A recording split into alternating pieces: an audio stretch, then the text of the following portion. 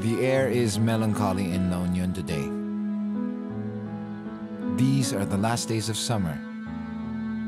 Everyone here is hoping, waiting for that last wave of the surf season. And then it's time to go home. It was on a slow day like today that I chatted with a Filipino seaman named Sebastian. I learned that flotsam and jetsam were nautical terms. Flotsam were pieces of ship debris floating in the sea. Jetsam were stuff thrown overboard into the ocean.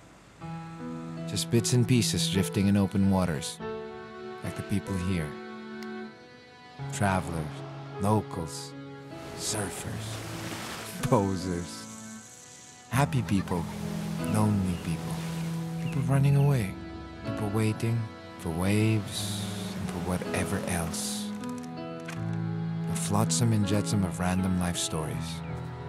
This place exists just around the corner of your imagination. Flotsam and jetsam hostel.